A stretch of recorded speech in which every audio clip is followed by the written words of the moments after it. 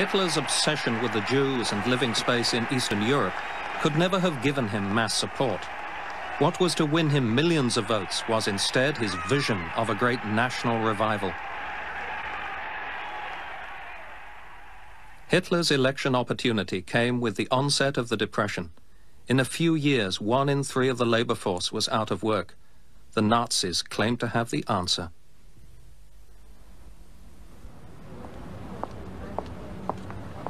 Ilse Wendel was a church social worker during the Depression among the unemployed in the Berlin slums. By 1932, German industrial production had fallen by almost half. Among the unemployed in these slums, she found a pervading sense of hopelessness about the future.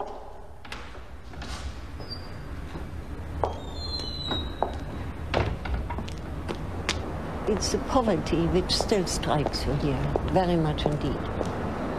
You can see how destructed the walls are. You can see it's there. The houses were so near to each other that the women talked to each other from the windows.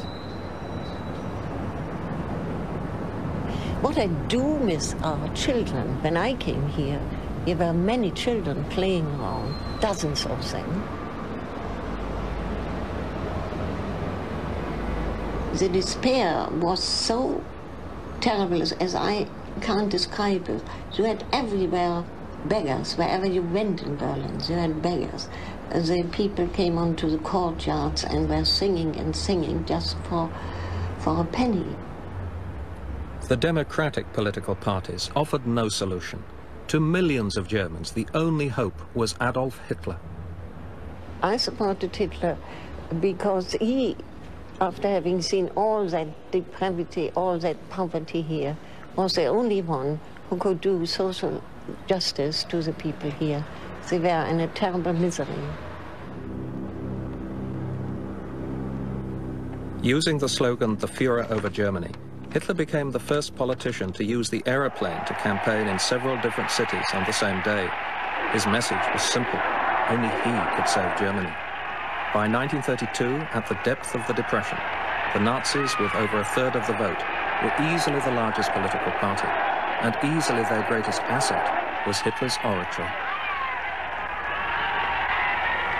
He had that ability which is needed to make people stop thinking critically and just emote.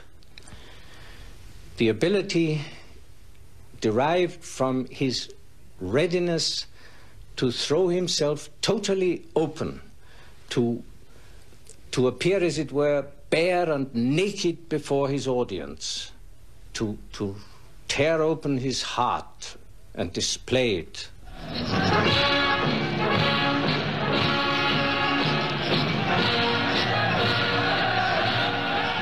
Before the audience hear his messianic vision of a great national revival, Hitler builds up the suspense by keeping them waiting, often for an hour or more.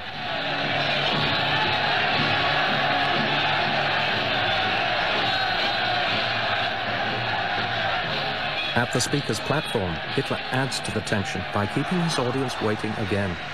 He does what no politician nowadays would dare to do. For a full minute, he stays silent.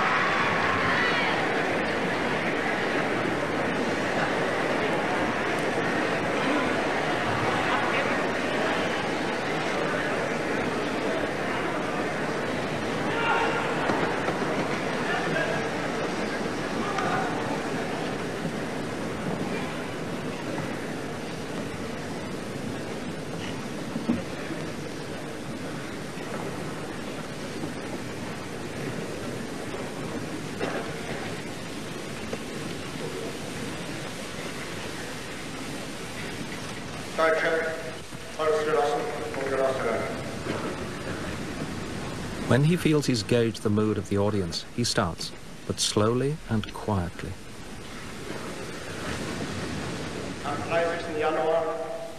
He had an actor's ability to throw on a few extra generators and suddenly become absolutely charged with energy.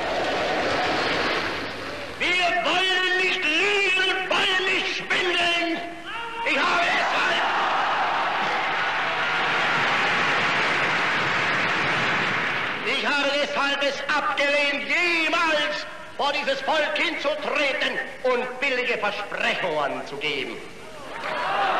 Es kann niemand hier gegen mich aufstehen und zeigen, dass ich je gesagt habe, der Wiederaufstieg Deutschlands sei nur eine Frage von wenigen Tagen.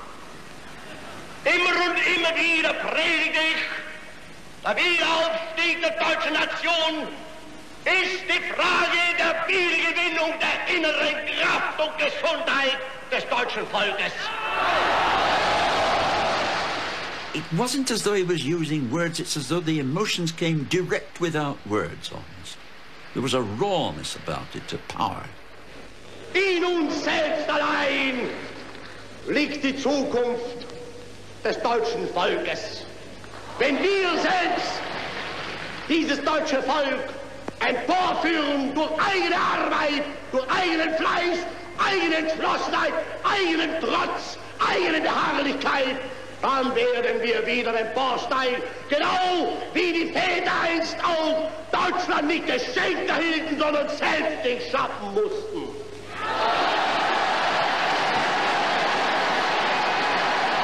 Nobody has ever had this power to move audiences. Had. And this is not just um, the man in the street, this is many German intellectuals who are moved by this appeal and stirred by this extraordinary self-confidence in this man. And what he says is the way he says it. You come back to that. And that's a very disconcerting thing for people. They want somehow or other to explain it away. But it's there.